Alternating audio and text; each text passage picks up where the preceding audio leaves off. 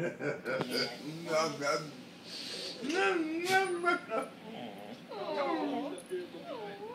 oh fuck. You're digging into my skin.